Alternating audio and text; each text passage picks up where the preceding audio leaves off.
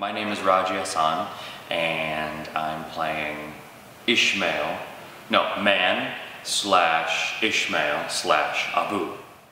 I think of the center of their bodies mm-hmm.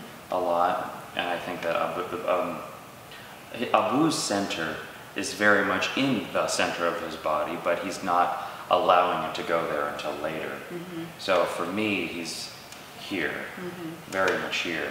And I think of Ishmael being sunken here. And that affects your voice, it affects how you listen, how you look, all those things.